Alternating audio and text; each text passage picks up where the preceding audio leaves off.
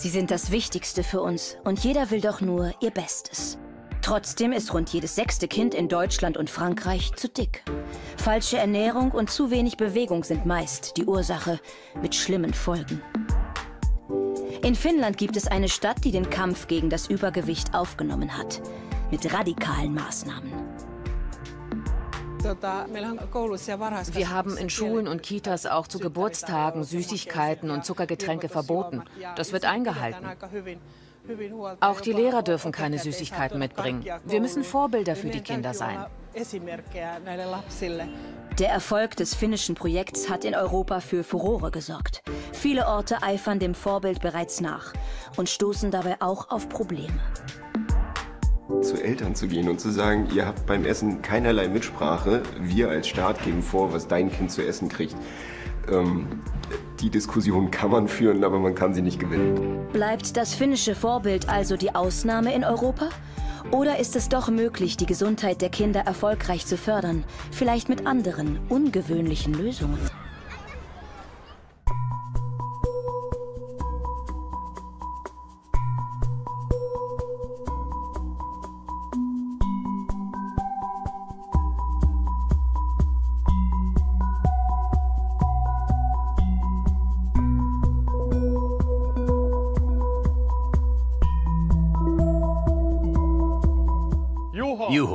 9 mal 2. 18. Gut. Atte, 9 mal 7? Keine Ahnung. Lauf los, schnell. Mathestunde in der Pruki-Schule im finnischen Seinäjoki. Ab und zu wird das Einmaleins etwas aufgefrischt. Elias, 7 mal 7. 49. Lauf, lauf. Für Elias und Juho heißt Mathe nicht nur rechnen, sondern auch laufen. Auf den Treppenstufen stehen die Lösungen. Hinsprinten, dazulernen und gleich noch etwas fitter werden. Bewegung beruhigt uns doch schon mal. Sie bringt ein Gefühl des Wohlbefindens. Aber sie unterstützt auch das Lernen. Und manchmal... Hallo, seid still. Manchmal kann man auch während des Sprachunterrichts, beim Finnisch zum Beispiel, Vokabeln, die man im Kopf behalten soll, mit Bewegung verbinden. Das merkt man sich dann besser.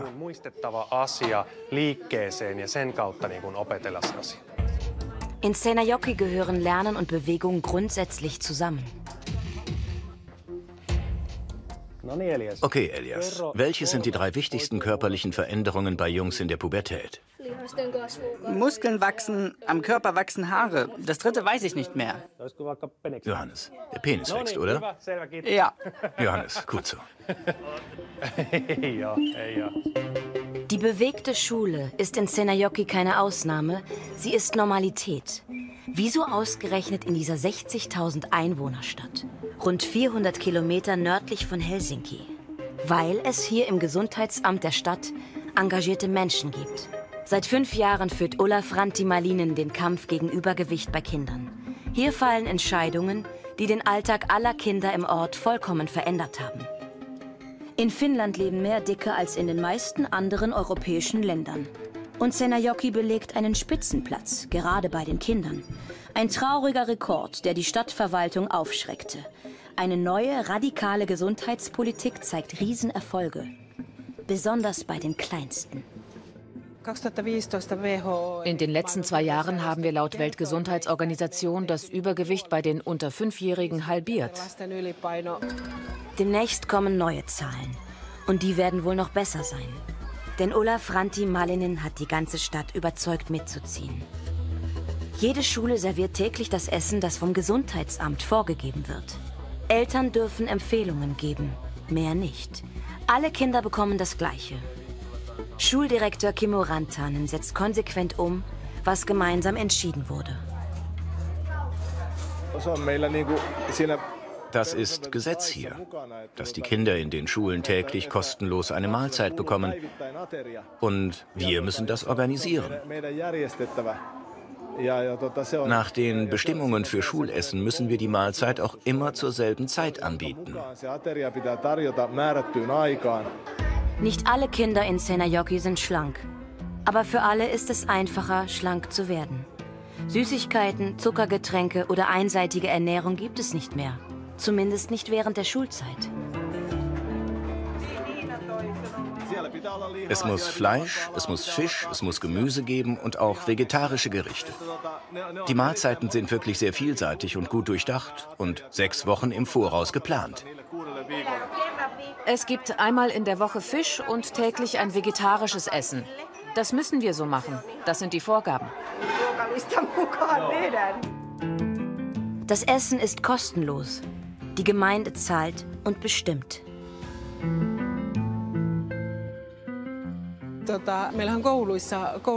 Wir haben in Schulen und Kitas auch zu Geburtstagen Süßigkeiten und Zuckergetränke verboten.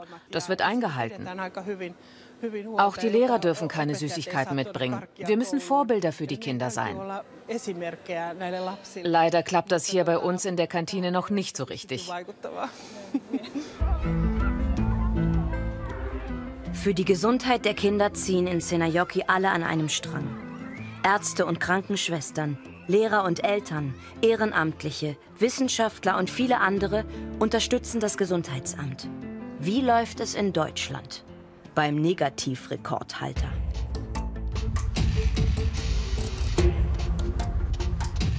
In Mecklenburg-Vorpommern leben laut Statistik die meisten übergewichtigen Kinder bundesweit, oft in den ärmeren Vierteln. Billige Ernährung gehört zu den Hauptursachen. Im Rostocker Ortsteil Dirko haben Ehrenamtliche die Initiative ergriffen. So wie bei Bethlehem Schelling in der Grundschule Ostseekinder. Jeden Morgen sorgen sie und die anderen für selbstgeschmierte Brote, frisches Obst und gesundes Gemüse. Private Spender bezahlen die Lebensmittel. Denn in dieser Gegend bekommen viele Kinder von zu Hause gar kein Frühstück oder nur Süßes mit. Ich glaube, das ist generell in jeder Gegend wichtig, dass es gesundes Frühstück gibt. Es gibt also ganz viel Obst und ganz viel Gemüse für die Kinder. Aber die Woche über ist es uns wirklich wichtig, dass es kein Weizenbrot gibt, sondern wirklich, wirklich auch äh, gesundes Frühstück. Das ist unser Anspruch. Jede Klasse bekommt täglich einen Teller Obst und ein paar belegte Brote. Das ist nicht viel, aber die Chance für jedes Kind, morgens etwas Gesundes zu essen zu bekommen. Viele kennen zu Hause kein ausgewogenes Essen. Auch deshalb ist in Deutschland etwa jedes sechste Kind zu dick. Das kann zu krankhaftem Übergewicht mit Folgen wie Diabetes oder Herzinfarkt führen. Ein Schaden von jährlich bis zu 63 Milliarden Euro durch Krankheitskosten und Arbeitsausfälle rechnen Experten vor. Im finnischen Senajoki bestimmt das Gesundheitsamt, was die Kinder in der Schule essen. In Deutschland entscheiden das die Eltern. Dementsprechend unterschiedlich sind die Brotdosen gefüllt. Obst gibt es hier fast nur auf den Frühstückstellern der freiwilligen Helferinnen. Mein Papa äh, gibt mir nicht äh, äh, die Sachen, zum Beispiel Äpfel und so, die gibt mir Papa nicht mit. Falls Mama Essen vergessen hat, kann man sich was vom Teller nehmen. Für viele ist der Teller eine leckere Abwechslung. Andere bleiben lieber bei ihrem eigenen Essen. Ähm, weil ich immer Süßes mitbekomme. Die Stadt Rostock hat nicht genug Geld, um kostenloses Schulessen auszugeben. Jetzt gibt es aber den Versuch, gesundes Essen möglichst günstig anzubieten. Die Stadt hat vor kurzem einer Großküche den Auftrag erteilt, mittags alle Schulkantinen zu beliefern. Mit der Auflage, regionale Produkte zu verwenden und einen ausgewogenen Speiseplan zu entwerfen. Und das Essen wird nicht mehr einfach aufgewärmt, sondern in der Schule fertig gekocht. Das soll gesünder und schmackhafter sein. Hinter der Idee steht Gesundheitssenator Steffen Bockhahn. Er hat das Projekt an allen Schulen in Rostock durchgesetzt. Jedes Mittagessen kostet 3,87 Euro. Wir möchten äh, eine Qualität zum gleichen Preis in allen Rostocker Schulen, weil Essen ist was ähm, sehr Subjektives. Aber wenn man da anfängt, Unterschiede zu machen äh, und auch wieder nach sozialem äh, nach sozialer Herkunft zu unterscheiden, das ist das Schlimmste, was man machen kann. Und deswegen äh, war die konsequente Entscheidung zu sagen, einen Anbieter für die ganze Stadt. Doch es gibt einen Haken. Viele Schüler wollen dieses offizielle Schulessen gar nicht. An manchen Schulen liegen die Bestellungen unter 20 Prozent. Hier gehen die Schüler lieber zu privat geführten Cafeterien, die nur Snacks anbieten dürfen. Süßigkeiten und Fastfood sind die Verkaufsschlager. So, bitteschön. Solange sich das nicht ändert, muss der Versuch der Stadt Rostock scheitern. Dabei wissen die Schüler eigentlich, was besser für sie wäre. Wenn wir dazu, ich sag mal, gezwungen werden, etwas Gesünderes zu essen, würde ich das auch eher essen. Weil wenn ich hier die Möglichkeit habe, dann hat man manchmal auch gar nicht diesen, ich sag mal, Kampfgeist oder diesen inneren Schweinehund dazu, mal was Ordentliches zu essen. Und halt, man nimmt halt lieber das Leckere. Deswegen würde ich es besser finden, wenn wir sozusagen gezwungen werden dazu. Wenn selbst die Schüler für das Prinzip sind, gegessen wird, was auf den Tisch kommt, wäre dann die finnische Variante, das Gesundheitsamt entscheidet einfach, nicht auch bei uns durchsetzbar? Ich glaube, das würde grandios scheitern. Ähm, also das, das wäre ein so radikaler Bruch. Ich könnte mir das gut vorstellen, um da nicht falsch verstanden zu werden. Aber die Vorstellung, äh, zu Schulen zu gehen und vor allen Dingen zu Eltern zu gehen und zu sagen, ihr habt beim Essen keinerlei Mitsprache, wir als Staat geben vor, was dein Kind zu essen kriegt. Ähm, die Diskussion kann man führen, aber man kann sie nicht gewinnen. Das äh, glaube ich nicht. Wie könnte eine deutsche Behörde Familien beraten und sie zum Mitmachen bewegen? Zum Wohle der Kinder? Was müsste passieren, um die gleichen Erfolge zu haben wie die Finnen?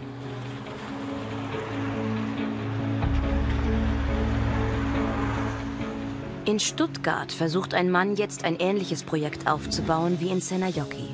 Kinderarzt Stefan Ehehalt kennt die Folgen von schlechter Ernährung und zu wenig Bewegung und will sie bekämpfen. So wie bei Emily, die vor einem Jahr noch extrem übergewichtig war.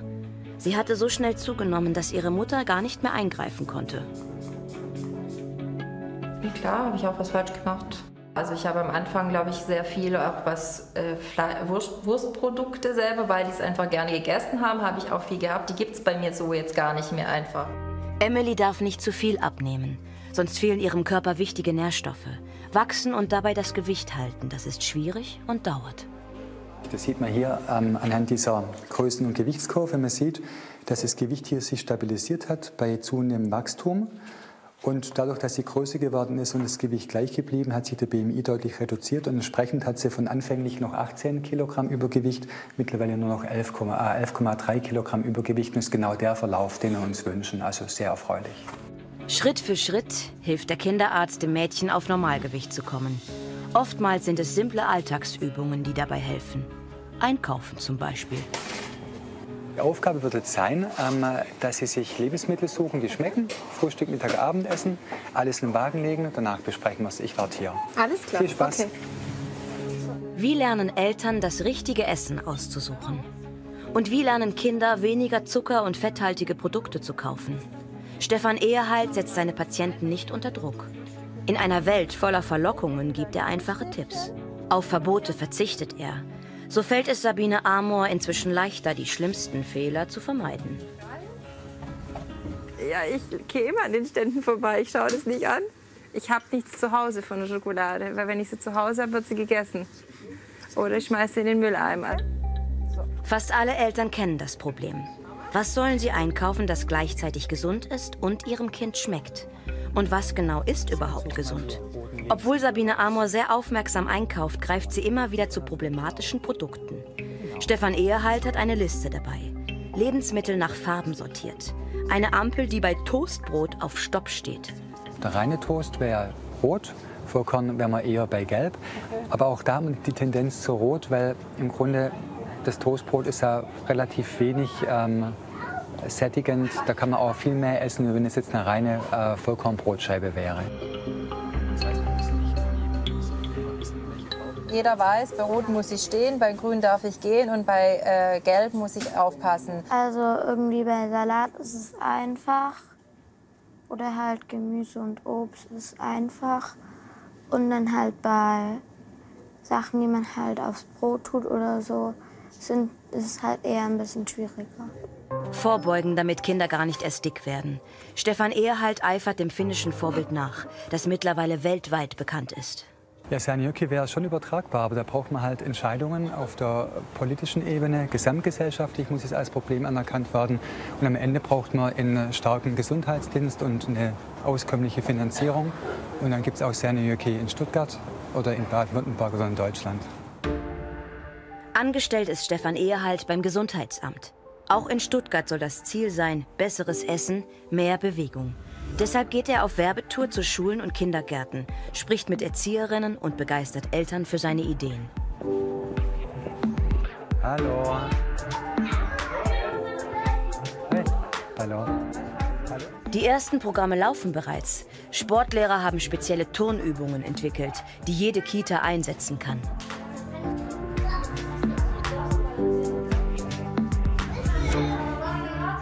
Kreis ganz schnell. Stellt euch im Kreis auf.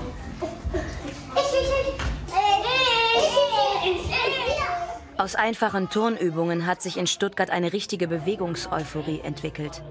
Fast alle Kindertagesstätten beteiligen sich an Aktionen wie den Olympischen Kitaspielen. 780 Kinder haben in diesem Jahr um die heiß ersehnten Preise gekämpft.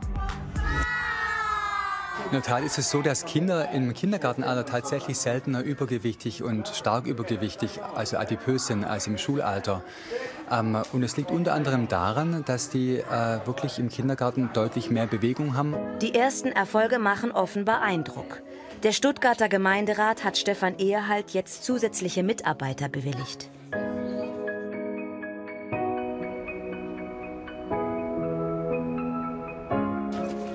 In den finnischen Wäldern lockt die Gemeinde Senajoki ihre Jüngsten in die Natur. Dabei helfen viele mit. Die Rentner des Ortes haben in Eigeninitiative Wege und Hütten angelegt, damit die Kinder sich austoben können. Und die Erzieherinnen sind extra in Naturkunde geschult.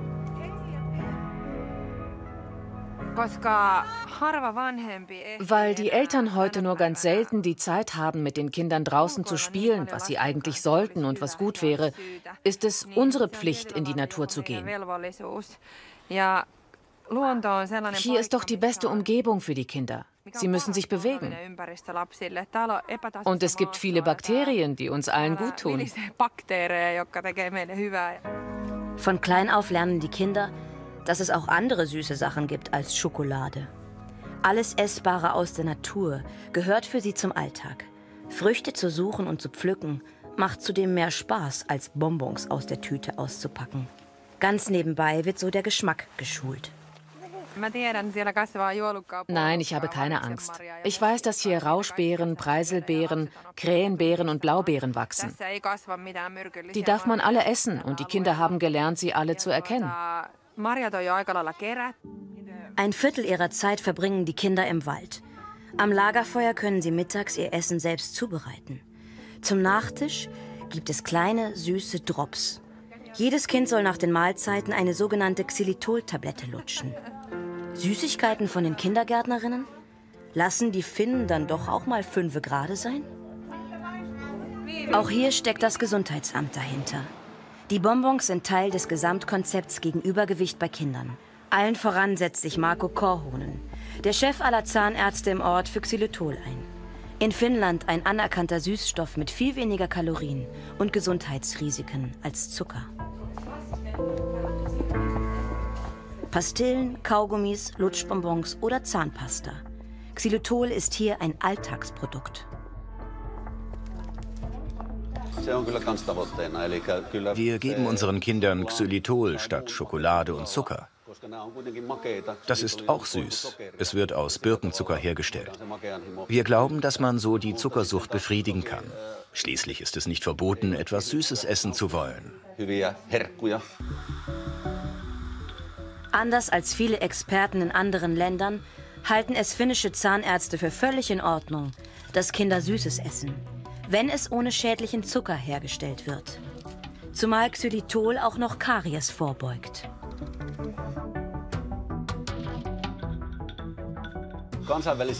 Xylitol ist international geprüft worden. Es kommt von hier und wir sind die Pioniere auf diesem Gebiet. Es ließe sich weltweit verkaufen. Aber das ist ja alles Marketing. Wir wissen jedenfalls, wie gut es für die Zähne ist. Warum aber essen Kinder am liebsten Süßes?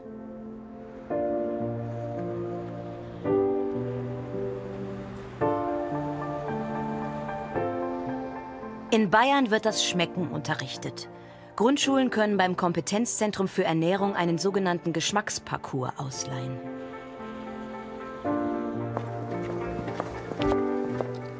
Jedes Kind soll im Unterricht einige verblüffende Versuche mitmachen. Denn als Kind schmeckt man vor allem Süßes. Alle anderen Geschmacksrichtungen muss man regelrecht erlernen. Als Feinschmecker wird man eigentlich nicht geboren, sondern man äh, er lernt vieles und, und äh, trainiert auch diese Fähigkeiten, differenzierter hinzuschmecken, hinzuriechen, hinzuhören. Angela Dietz und ihre Kolleginnen wollen die Kinder dafür begeistern, Lebensmittel mit allen Sinnen zu kosten. Deshalb haben sie sich ein paar Experimente ausgedacht. So färben sie einen gelben Apfelsaft rot und grün ein, ohne seinen Geschmack zu verändern. Schön genau hinschmecken. Aha. Apfelsaft. Apfelsaft. Das Gelbe ist so wie Apfel. Das, das Grüne war so wie äh, die, Traube. die Traube und das Rote war so wie Tomate. Soll es auflösen, ne? das Rätsel? Ja. Ist alles der gleiche Saft. Was? Habe ich irgendwie einen Schock gekriegt, dass alle, alle Sorten, die wir jetzt gerade probiert haben, vom Apfel waren. Weil ich dachte, es wären auch ein paar andere. Die Kinder einer Schule in Fürstenfeldbruck lernen, wie Sehen den Geschmack beeinflusst. Rot ist deshalb so beliebt, weil es für die meisten süß bedeutet. Wie wichtig Riechen beim Essen ist, erleben die Kinder bei einem anderen Versuch. Auf der Zunge sitzen Geschmacksknospen, die Lebensmittel in süß oder salzig, sauer, bitter oder Umami einteilen, so heißt der Geschmack von Fleisch. Doch ohne Nase schmeckt fast alles gleich. Süß. Schmeckt Zucker. Süß, okay. Und jetzt macht ihr mal eure Nase auf. Es gab Süßes, es gab Saures, es gab Bitteres und Salzig. Jedes Experiment bedeutet für die Kinder eine neue Erfahrung. Sie lernen, mehr Aromen wahrzunehmen. Und wirklich nicht aufgeben, so beim ersten Versuch, ruhig immer wieder einfach das anbieten, die Kinder nicht dazu zwingen, aber trotzdem die anderen Geschmacksrichtungen anbieten. Genau, es äh, braucht bis zu 15, 10 bis 15 Kontakte, Erstkontakte, ähm, äh, bis die Kinder den Geschmack wiedererkennen als bekannten Geschmack.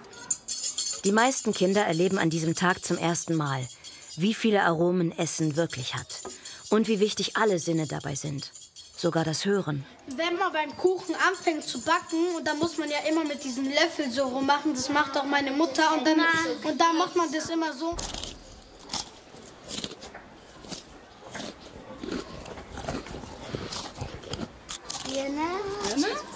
Gurken, ja, Chips. was Süßes. Oder nein, das ist nee, ich also ich muss euch enttäuschen, es ist eine Reiswaffel. Aber es ist auch etwas schwierig. Es ist wichtig und da gibt es Forschungen in der Lebensmittelindustrie, die geben da viel Geld dafür aus, damit bestimmte Lebensmittel knusprig schmecken. Knuspriges Brötchen zum Beispiel ist schon wichtig. Ja, es schmeckt uns dann einfach besser oder ein knackiger Apfel. Also es hat schon eine, eine spielt eine Rolle. Am Ende haben die Kinder eines gelernt. Nicht nur Süßes und Sahniges schmeckt gut. Es lohnt sich, Neues zu probieren. Auch etwas Gesundes.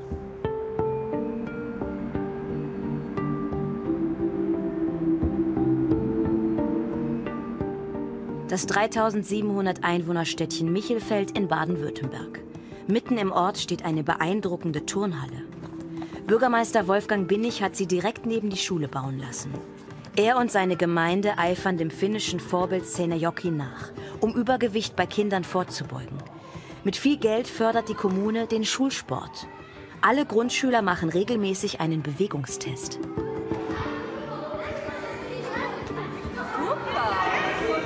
Weißt du, wie oft du gesprungen bist?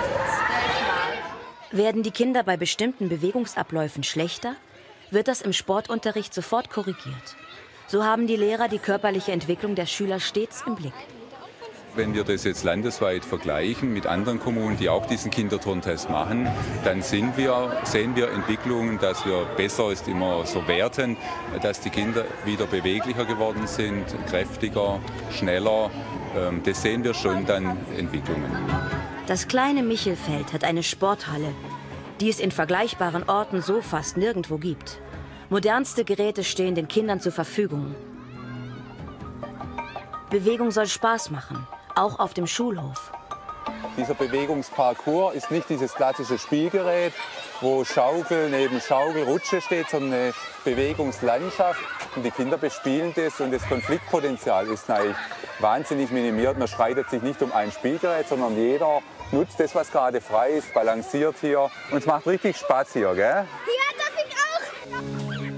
Die Gemeinde hat in den letzten Jahren mehr als 5 Millionen Euro für ihre Kinder ausgegeben. Die Sporthalle, der Schulhof, Sportplätze. Und für jährlich 2000 Euro frische Äpfel in jedem Klassenraum. Michelfeld zieht damit viele Familien an. Die Geburtenrate stieg um 76 Prozent. Die Steuereinnahmen gingen um 61 Prozent nach oben. Nirgendwo sonst in vergleichbaren Orten der Region gibt es so viele Kinder unter sechs Jahren. Michelfeld erobert eine Spitzenposition nach der anderen. Inzwischen hat Bürgermeister Binnig sogar einen Zuzugsstopp verhängt. Bei dem Andrang wären die hohen Ansprüche sonst nicht zu halten gewesen. Nina Wengertsmann hatte Glück. Sie ist mit ihrer Familie gerade noch in Michelfeld untergekommen und dankbar für das Engagement der Kommune. Hier gibt es bestimmt auch das ein oder andere äh, äh, dickere Kind. Aber, aber es wird halt einfach darauf geachtet. Ich denke, der Tenor ist einfach, ähm, sich gesund zu ernähren. Und da, da, darauf achtet die Gemeinde, dass man die Leute so ein bisschen dahin, dahingehend erzieht. Und ähm, da gibt es dann auch immer wieder Aktionen dazu. Für große Investitionen wie die Turnhalle hat die Gemeinde Aktienpakete verkauft. Der Rest wird aus Steuereinnahmen bezahlt. Michelfeld setzt Prioritäten, investiert Millionen in die Gesundheit der Kinder. Deshalb wollen immer mehr Menschen hier leben. Und die zahlen hier ihre Steuern. So schließt sich der Kreis. Wir haben überdurchschnittlich viele erwerbstätige Menschen. Das heißt, über diesen Verteilmechanismus im Land äh, bekommen wir natürlich mehr Einnahmen, generieren wir. Ähm, die Gewerbeansiedlungen, ähm, wir haben viele Arbeitsplätze. Also es sind so verschiedene Faktoren, die sicherlich mitspielen. Michelfeld und Seinäjoki haben vieles gemeinsam. In beiden Orten wird die Gesundheit der Kinder gefördert.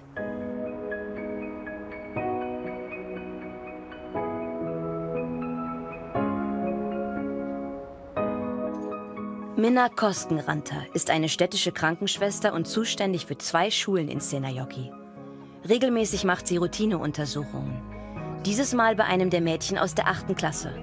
Ganz selbstverständlich holt sie die Schülerin aus dem Unterricht. Keiner kann ihr den Zugang zu den Kindern verweigern. Die 14-jährige Helena hat keinerlei Gewichts- und Gesundheitsprobleme. Falls doch, würde Minna sofort eingreifen, aber schonend. Ich muss sehr genau überlegen, was ich sage, weil Kinder bei Wachstums- und Gewichtsproblemen sehr empfindlich sind. Ich kann nicht direkt sagen, oh, wie schrecklich, du hast ja sehr viel zugenommen. Das würde das Kind beleidigen. Das muss man vorsichtig machen.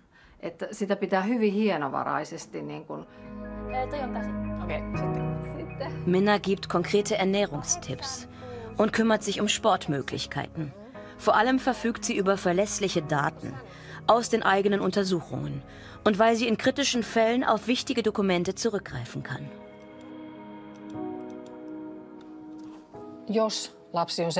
Von allen Kindern aus Seinäjoki stehen mir alle Daten seit der Geburt zur Verfügung. Minnas Arbeit zeigt, wie konsequent sie in Seinäjoki gegen das Übergewicht vorgehen. Die Eltern akzeptieren die staatliche Mitsprache und die Preisgabe von Daten. Die Erfolge der bewegten Schule, in der jedes Fach mit Sport verknüpft wird, haben sie überzeugt. Entweder rechnest du am Platz oder du nimmst die Legosteine oder du läufst zu den Treppen und machst Zusatzaufgaben. Erst kürzlich hat Südkorea eine Delegation in die skandinavische Kleinstadt geschickt. Seinäjoki ist nicht nur in Finnland, sondern weltweit zum Vorbild geworden. Tausend bewegte Schulen gibt es schon in verschiedensten Ländern. Kommunen, die sich einmischen und die Gesundheit der Kinder zu ihrer Sache machen. Wo das gelingt, ist der Erfolg messbar.